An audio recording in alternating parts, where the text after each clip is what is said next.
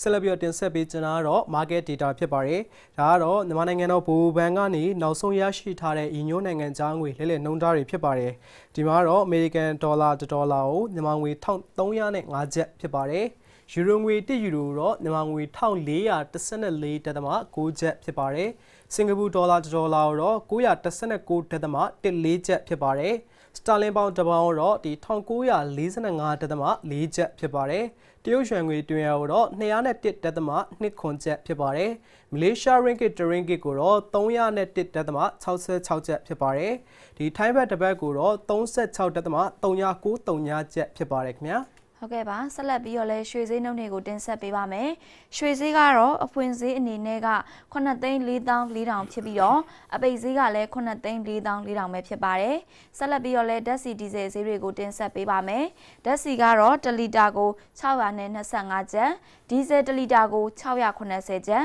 Octane 92 RON 1လီတာကို650ကျပ်နဲ့ Octane 95 RON 1လီတာကို950ကျပ်တို့ပဲဖြစ်ပါတယ်ရှင့်